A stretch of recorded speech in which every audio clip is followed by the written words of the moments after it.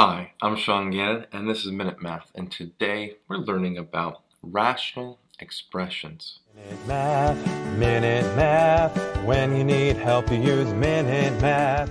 We're given this problem right here 70v squared over 100v, and we need to state the excluded value here.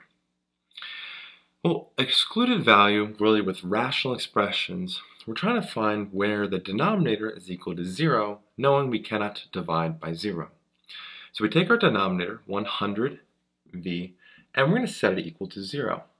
And now we're going to solve to find what value for v makes, well, this expression equal to 0, or the denominator. Divide by 100 to both sides, our rules still apply. Hundreds cancel, and we have v by itself. 0 divided by 100 is just 0. So the value of 0 for v, when plugged into our denominator, makes our denominator 0, meaning we cannot divide by 0, and so 0 is our excluded value.